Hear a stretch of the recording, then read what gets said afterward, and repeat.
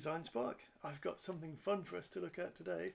It's a discovery kit from ST Micro for the STM32 MP157A and to discover what that is, keep watching the video. The STM32MP1 product line is something of a departure into new territory for ST Micro, into the realms of microprocessor systems. Interestingly, they've built it around reusing the STM32 ecosystem that many of you will be familiar with. There's an ARM Cortex M4 in the device with the same peripherals and connectivity that you'd find in any of ST's microcontrollers. So if you already have M4 firmware built with tools like Keil or IAR or CubeMX, you can keep using these tools and simply drop the binaries that you have straight into the MP1's Linux file system. For the added Cortex A7 application processors, an open embedded and Yocto based Linux ecosystem has been developed along with the supporting infrastructure. The feature set is pretty extensive with security features like crypto and hashing, PWMs and timers for control applications, ADCs and DACs for analog interactions, and extensive connectivity including gigabit Ethernet, a MIPI DSI display interface, and loads more. The 3D GPU is a Vivante GC Nano IP and has native Linux support for OpenGL ES2 and OpenVG 1.1. The device will also support multiple types of DDR and flash memory. CubeMX has been enhanced to allow peripheral mapping between the A7 cores and the M4 core, giving them near identical memory maps for these peripherals. CubeMX also creates the Linux device tree and facilitates DRAM interface training so developers can get the best memory performance possible. Internally, the peripheral mapping is done by attaching peripherals to either an advanced extensible interface or AXI bus or to an advanced high performance or AHB bus depending on the peripheral's best optimization. AXI has some extra features like multi-channel operation, out-of-order transactions and full duplex operations that some peripherals won't use. As both AXI and AHB are part of the advanced microcontroller bus architecture spec, they play well together, allowing both A7s and M4 to use any peripheral. As I mentioned, there is a family of devices with different speeds and features. The Discovery kits are based around these devices.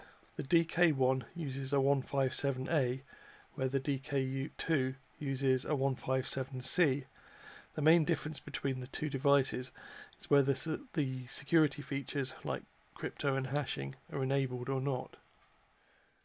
So, what do we get with an STM32MP157A discovery kit? Well, let's open the box and find out. So, first of all, we have a USB Type C to Type C connector, which we'll put to the side. Some protection, some documentation that uh, gives us list of features on the board and a link to the getting started. Yep, okay. And here's our board itself. Let's pop that down here and let's move the box out the way. So that is our board. So let's have a little tour around the board then. Well, there's a, a lot on this board, so let's have a little look around at all the things that are packed in there. So starting at the top right, shall we? We've got four USB host ports and below that we have a USB type C connector. And below that we have an HDMI connector. And here is the lattice semiconductor HDMI bridge. And we have an ST-Link LED here. And this is the ST-Link chip. And here's the ST-Link USB connector and running along the bottom we have uh, some user LEDs and some user switches and this is the all important reset switch, all very useful. And here's our audio jack, and that's connected to this Cirrus Logic 42L51 device, which is a low power stereo codec with a headphone amp. And moving on, we have a wake up button. We have our Ethernet connector, and that's connected to this Realtek Gigabit Ethernet transceiver. And moving on, we have the input power connector. That's another USB Type C connector. Now this is where we would, if we had a 157C or D or whatever, uh, we would have our Wi-Fi and BLE uh, chip here, uh, but we don't have that on here. And moving on, we have a DSI connector here, and running along the top, we have a 40 pin connector, which is a Raspberry Pi uh, connector. So um, we can connect up Raspberry Pi hats and things if we're that way inclined. Here uh, is our STPMIC. Now this is the uh, power chip for the board and we've got a little article on that below this video. Here's our DDR3 memory and this puppy here is our processor itself, the STMP or STM32MP157 device. In this case, it's 157A. Now, if we were to turn the board over, on this side of the board, we have some Arduino connectors. And we also have the socket for our SD card and our boot mode switches, which are quite important when it comes to programming the board up. So that's our whistle stop tour around the board hardware. So let's briefly think about software development. If you're going to develop software for the STM32MP157, you're going to need a Linux machine, and that can be either native or virtual. If we look at what I have here, it's a virtual machine uh, running Ubuntu.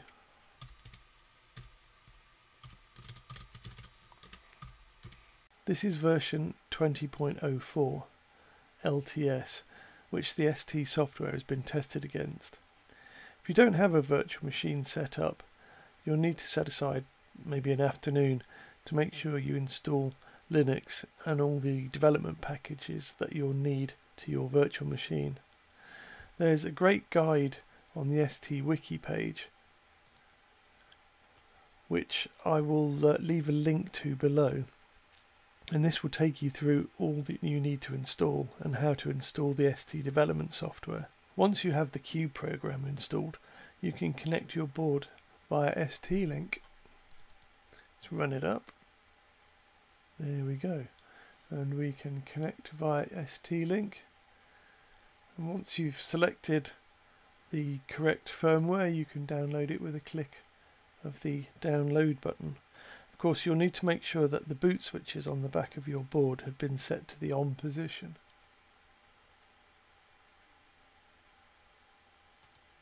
From there, we can check the device that ST-Link is using.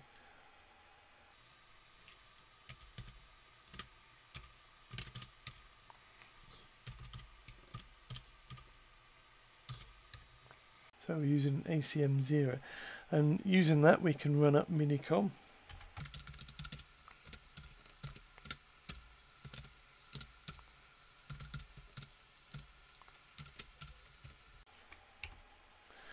There we go, we're into our board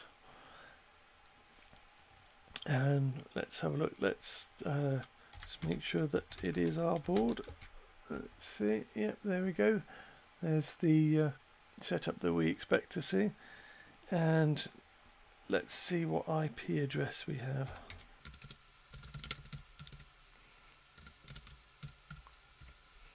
Okay, so we're on 1681118. So knowing that, let's uh, just come out of come out of Minicom and X. Leave Minicom. And we can now use that uh, IP address to SSH into our board via Ethernet.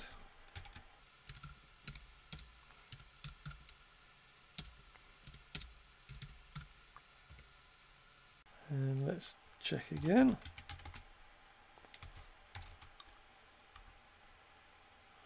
Yep, that looks like our board.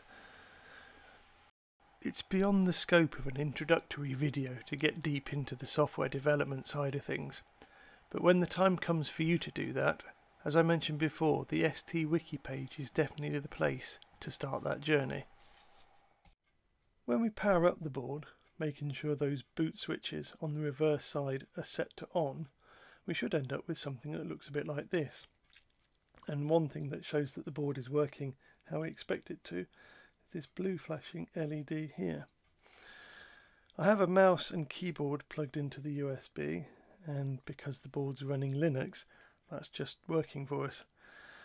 I also have an HDMI cable plugged in so that we can see what's going on with the demo software and what's being output to the screen. And for good measure, I've also included an audio output and an Ethernet cable uh, because this board doesn't have the Wi-Fi and Bluetooth. So that's the setup. Let's have a look at what's on the screen. And this is what it looks like on my monitor. If you have a DK2, this will be on the screen that's mounted to your board. We have a few built-in demos that can be launched from this splash screen and that's running on a Python interpreter on the board which I suppose is a demonstration in itself that we can run Python scripts on this board. Now this particular first app that we're looking at here, this gives us some network information. We can run that. Um, we can see that there's no Wi-Fi on this board, which we already know. Um, if we escape from that, uh, if you have a USB webcam, you can plug it in and fire it up using this next app here. Um, moving along, we also can do video playback with this board. So let's have a go at that one. The global population continues to grow and age as people live longer. This calls for innovative ideas. ST is and will be there.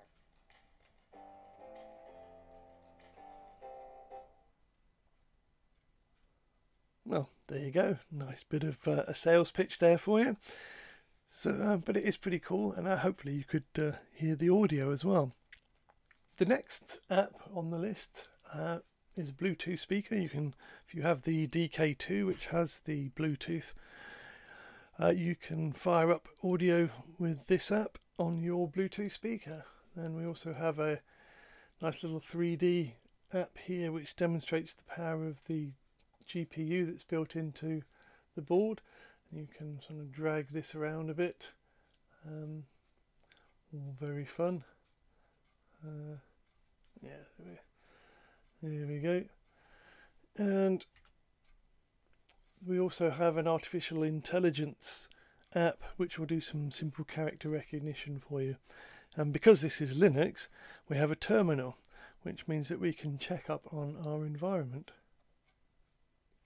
So if we just run a couple of standard commands on here, we can see that it's a fairly standard looking Linux file system. We can also check up on our build.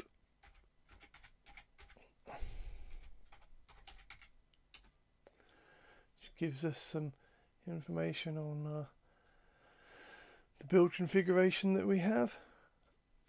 Uh, if we were looking at uh, some of the system information, we got all the, the usual commands uname and we can also uh, look and see what kind of space is available on our uh, file systems that are mounted. Let's have a look. Here we go. So If you're familiar at all with Linux, you'll be familiar with what's going on on this board. And that wraps up our video for today. Thanks for watching and if you've enjoyed it please leave a like and maybe even a comment below. See you soon.